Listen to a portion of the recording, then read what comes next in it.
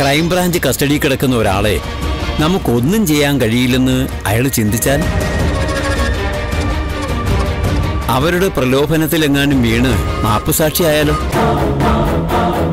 അതെ ഞാൻ പറയാൻ പറഞ്ഞതൊന്നും വെറുതെ അല്ല വക്കീലെ. അയാൾ എനിക്കെതിരെ എന്തെങ്കിലും പറയണമെന്ന് ചിന്തിച്ചാൽ പോലും നമ്മളയാളെ തീർത്തിരിക്കും. അതിനുള്ള വഴികളൊക്കെ നമ്മുടെ കയ്യിലുണ്ട്. ആദ്യം അണ്ണാദുരയെ കണ്ട് സംസാരിച്ചു നോക്ക്. അത് കഴിഞ്ഞ് നമുക്ക് ബാക്കി കാര്യങ്ങളൊക്കെ തീരുമാനിക്കാം.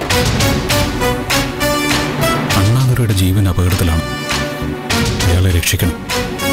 അല്ലെങ്കിൽ അമ്മ ഇനിയും ഇതുപോലുള്ള കാര്യങ്ങൾ തന്നെ ചെയ്തുകൊണ്ടിരിക്കും.